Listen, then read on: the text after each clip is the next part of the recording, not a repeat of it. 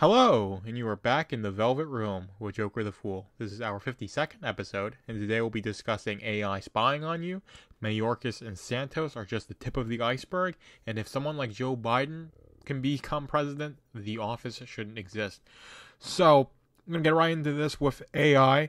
There's actually some big breaking news with AI. I believe uh, OpenAI, which does ChatGPT, is launching Sora, which uh, you give it a prompt, it can generate an, a minute long video, and that technology is only going to get better. So, AI as a tool is here to stay. It's only improving, it's only becoming more complex and becoming more able to do things.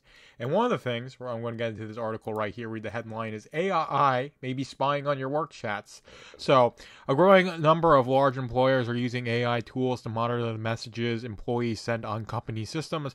Walmart, Starbucks, Nestle are among the adopters. This one tool called Aware, according to CNBC. Analyzes employee chats to tell businesses how their workers are feeling, identify bullying, and flag instances of employees breaking company policy. So if you work at Nestle Corporate and you say Janice from accounting has a really nice ass, uh, it's going to be mentioned in your next review because an AI uh, saw it, noted it, logged it down. Excuse me. And this is just for big companies, right? Um, are doing this. Of course, the government is going to be using this um, to spy on regular citizens. You're going to have um, these large companies not use it just for their employees, they're going to use it for their customers. They uh, gather even more information. So AI is this tool, like like I said, like any tool, it's who uses a tool that um, determines the effect that it's going to have on uh, the outward society and doing stuff like spying on people um, is, is, definitely not a good thing. But uh, like I said, AI is here to stay, and the fact that AI is getting more complex, more efficient, means that anyone who is interested in productivity and being able to do stuff is going to be using AI as part of their workflow. And this is why you have these big companies doing it because there's literally six and a half billion messages from more than three million employees that Aware has been able to collect and analyze. Humans couldn't do that. You have you could get like a team of like one, two thousand humans doing that, and you have to put them all on payroll to do that, and they wouldn't be able to do it in the way AI can. So even if AI does a bad job of going through these messages, six and a half billion messages, um, it's going to be an infinitely better job than uh, a team of humans can do, and you don't have to pay them uh, payroll. You don't have to pay them benefits. You don't have to worry about firing them if they um, don't do their jobs correctly. And if you do fire them, you have to worry about getting a, a wrongful termination suit on your desk. So there's a lot of reasons why AI is going to be replacing people. It's going to be spying on the people who are aren't being replaced, and it's also just going to be spying on anyone in general. So when I when I heard about this, my, my concern is the state using this, like FBI, CIA using AI to spy on people, to engage in their psyops, and I, am for sure it's happening in, in some degree. Uh, if uh, corporate America is doing this, then I am 100% certain that the government is doing these sorts of things. So it's something to keep in mind. Um, like I said, but th- does this mean that you should uh, become a luddite and run into the uh, the trees and never use technology again? I mean, I have a plan, but to do something similar, but I'll have Starlink with me. I'd say no. I would say identify what you can use AI to make yourself a more productive person and do that uh, because everyone else is going to be doing that. And like, like I said, AI is merely a tool, and the person who uses the tool determines the effect it's going to have on the individual and the society around them. So we're going to get into the next topic here, and this is Mayorkas and Santos. So I think Mayorkas is facing an impeachment. He's the, I think, um, secretary. He's part of Biden's cabinet. I think he's the Secretary of Homeland Security, if I have uh, remembered correctly. So he's head honcho, honcho of the border situation. Uh, and of course, that border situation has been an unmitigated disaster, so much so that they want to impeach Mayorkas. And of course, they're saying, you know, this is just a baseless political attack, and, and you know, he's a good cabinet member and public official, and he just wants to do his job serving the public.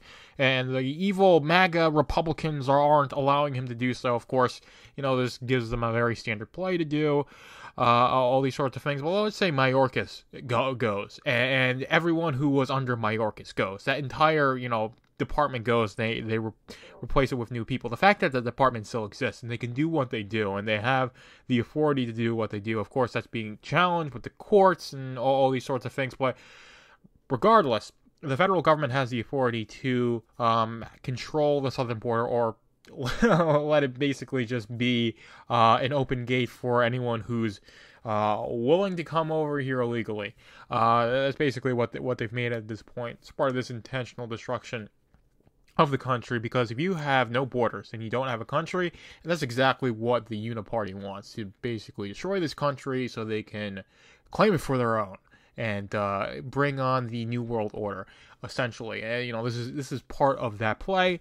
So the whole the whole thing i want to say here is that it doesn't matter if mayorkas goes. This is not a like a good positive thing if Mayorkas goes and he gets replaced with somebody else because this whole rotten system still exists. You, you just have new apples being placed in this bunch, and the bunch, as soon as they're in that bunch, they get rotted.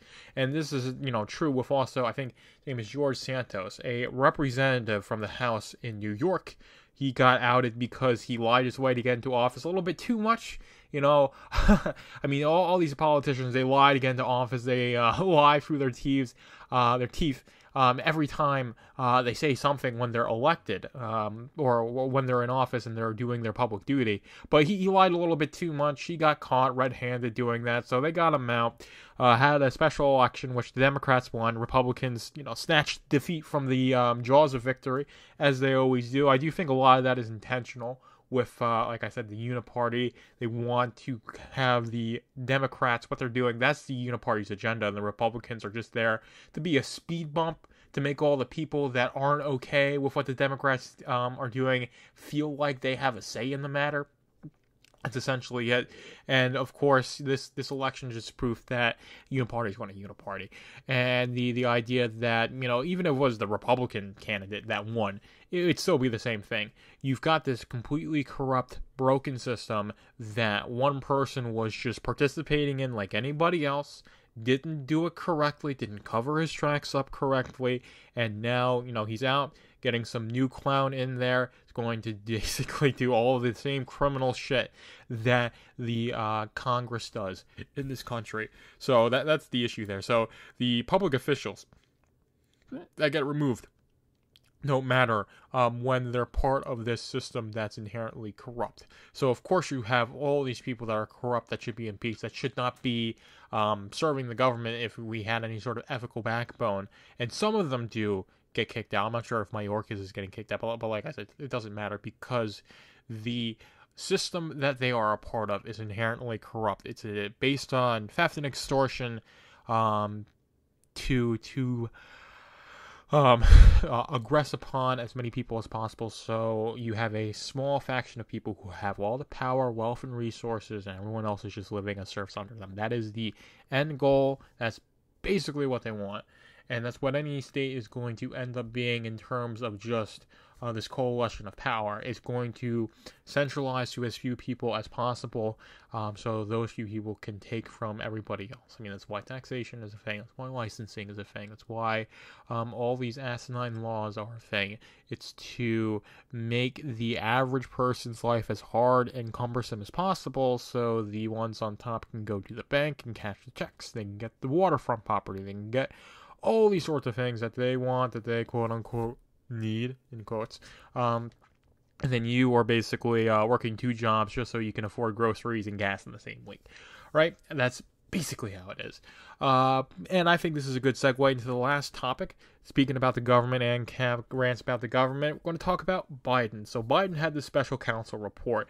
It was really damning for his uh, mental um, fitness, right? That, that's what's been going around. It's basically legitimizing the concept that Joe Biden is a uh, dementia patient living in a glorified um, retirement home. That's what the White House is now. Someone who can't work past noon, someone who can't, uh, no, doesn't know what state he's in, doesn't know that the uh, president of Egypt isn't the president of Mexico, uh, all, all, these sorts of things. So all these consistent gaffes and mistakes and not knowing where he is and all, all these sorts of things. He's mentally unfit to be um, in office, barely mentally fit enough to play freaking bingo in a retirement home, let alone be the leader of the free world. But he became leader of the free world. And if someone like Biden can become leader of the free world, maybe we shouldn't have a presidency. Maybe the powers of the president shouldn't exist and they should be divided up amongst the states. Decentralization. That would be the best thing.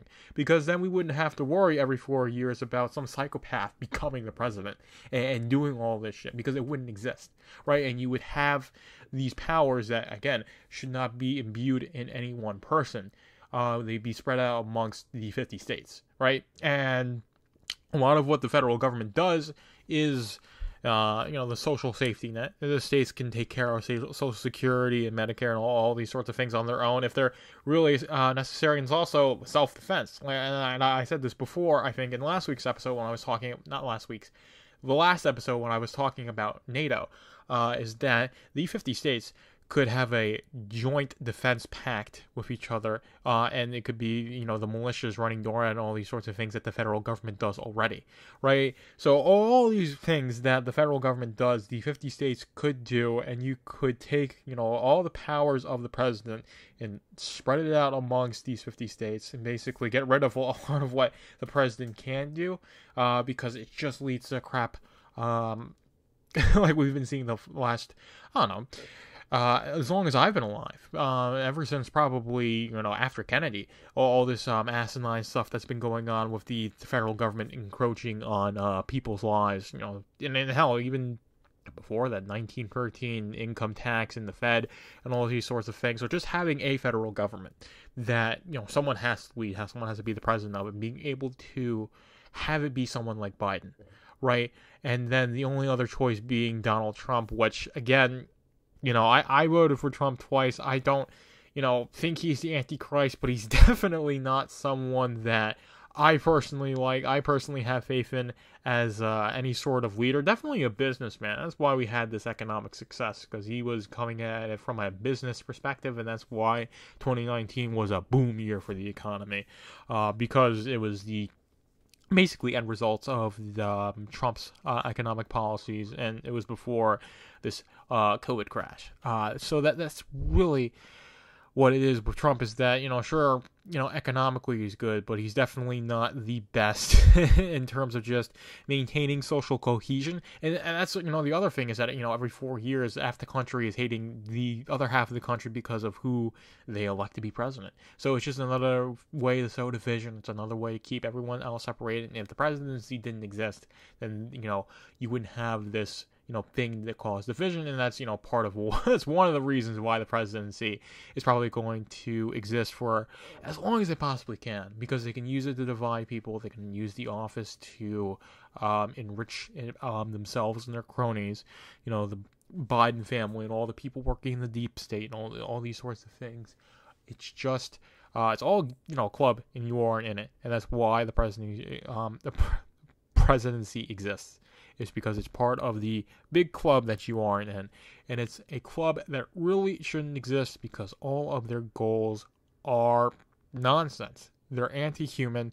They want you in the pods eating bugs, and they're going to use um, every um, state um, office to enact that policy. And the presidency is definitely one of those that they've got uh, their eyes on it, which is why they love Biden being president because he's the quintessential puppet head. It's just his administration, everyone doing all the stuff, and Biden they just trot out um, and have him do all this stuff, and a lot of this stuff they can blame on his incompetency or not knowing how to do things, or say he's just a bit too old, and it's all okay, and he's still experienced and all these sorts of things.